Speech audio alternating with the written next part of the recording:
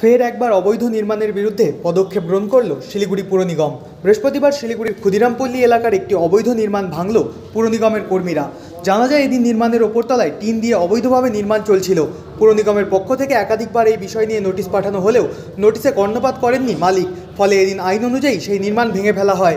ঘটনায় উত্তেজনার সৃষ্টি হলে মোতায়েন করা হয় বিশাল পুলিশ বাহিনী।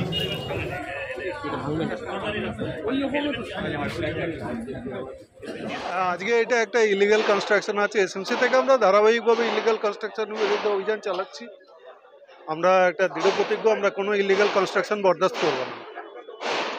এটাও যেমন লিগাল প্রসিডিওর অনুযায়ী এদেরকে নোটিশ করা হয়েছে বারবার ওনাকে অ্যাক্টিভিটিস স্টপ করার ইয়ে করা হয়েছে, যে ইলিগাল কনস্ট্রাকশন আছে, সেটা রিমুভ করার রিকোয়েস্ট করা হয়েছে। কিন্তু কোনো কিছুই অ্যাকশন করা নেয়নি। এবং কথাই শুনছে না। যার ফলে আমরা এস এসএমসি পক্ষ লিগালি আমরা কমিশনার অর্ডার রেসপেক্টে আমরা ইলিগাল এটা রিমুভ করতে এসেছি। ইলিগাল টোটাল বিল্ডিংটা রেসিডেন্সিয়াল হিসেবে বিল্ডিং প্ল্যান পাস করানো আছে। এখানে কমার্শিয়াল অ্যাক্টিভিটিস চালানো হচ্ছে সেটাই ইলিগাল আছে। আর উপরে রুপ ট্রাস করেছে, সেটার কোনো পারমিশন নেই। সেই পারমিশনটাকে ওরা নেয়নি।